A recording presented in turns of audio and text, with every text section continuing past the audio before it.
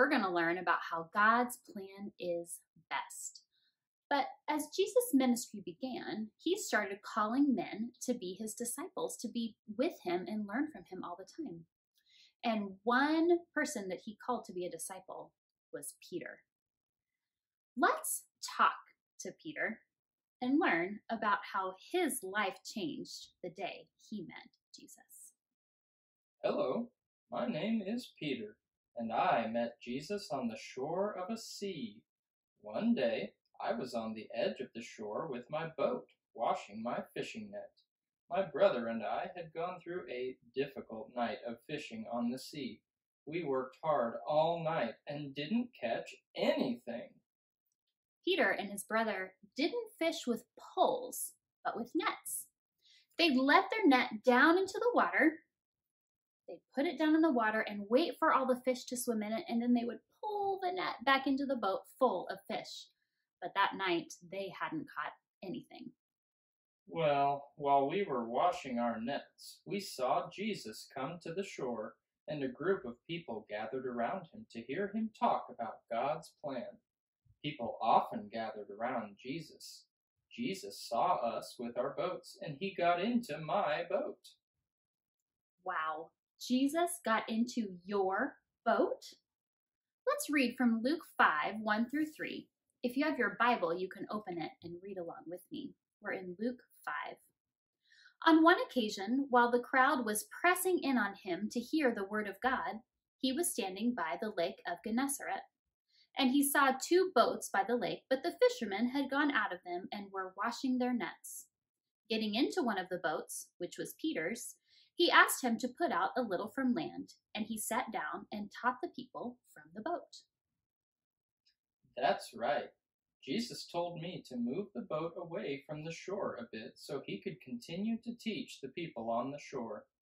After Jesus finished speaking to the people, he told me to go out into deep waters and let my nets down to catch fish.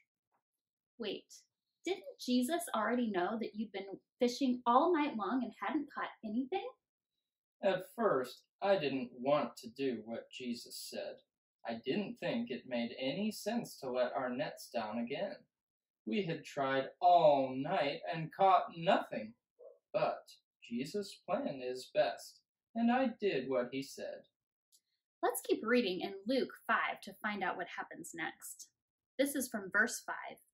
And Peter answered, Master, we toiled all night and took nothing, but at your word I will let down the nets.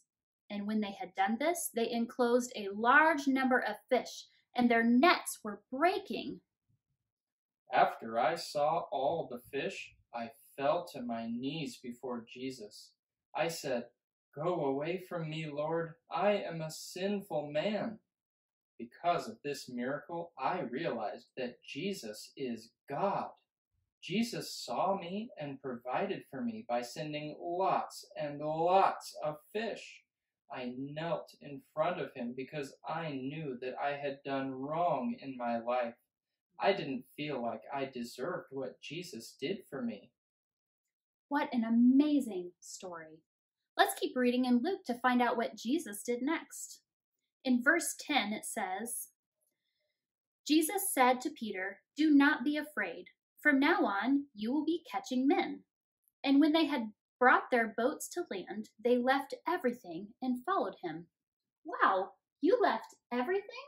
Yes, our lives changed completely that day we left our nets behind and followed Jesus to fish for people instead of fishing for fish. what? What does that even mean? You started fishing for men? Jesus meant that I would help bring others to see that God's plan is best so they could have a relationship with Him. I was an ordinary fisherman. Out of all the people Jesus could have chosen to follow Him and be one of His close friends, he chose me. That is such an amazing story. Do you know what's great? Jesus chooses us to be part of the big God story too. His plan is so much bigger and better than we can even imagine because his plan is best. We can follow Jesus and invite others to follow him too.